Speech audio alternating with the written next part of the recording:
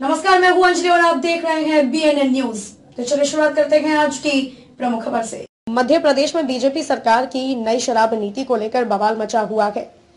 पूर्व मुख्यमंत्री उमा भारती नशा मुक्ति अभियान का आगाज़ 14 फरवरी से करने को तैयार है, लेकिन इन सब के बीच सरकार के चरणबद्ध तरीके से नशा मुक्ति अभियान तेज करने की पोल खुलती हुई नज़र आ रही है।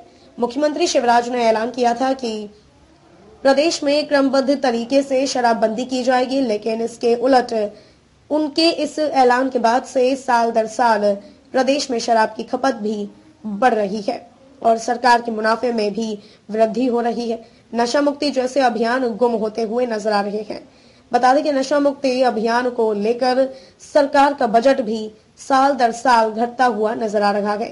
सरकार अब प्रदेश में शराब सस्ती कर आम लोगों की पहुँच तक बनाने की तैयारी में है। दूसरी ओर नई शराब नीति को लेकर मचे घमासान पर प्रदेश के वित्त मंत्री अजीबो गरीब तर्क दे रहे हैं। वित्त मंत्री का कहना है कि नकली शराब पीने से लोग बीमार हो जाते हैं। ऐसे में शराब की दर कम कर आम लोगों की पहुँच तक बनाने की कोशिश की जा रही है। प्रदेश में साल 2020 से 21 के दौरान शराब पर वैट के तौर पर राजस्व का संग्रह पिछले साल की तुलना में छब्बीस दशमलव एक चार फ़ीसद बढ़ा है।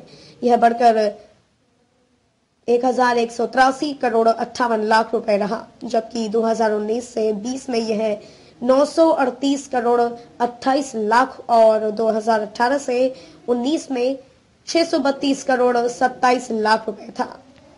खबरों में अब तक ले बस इतना ही। मिलते हैं फिर ऐसे ही किसी बड़ी खबर के साथ। तब तक के लिए नमस्कार और देखते रहिए बी न्यूज़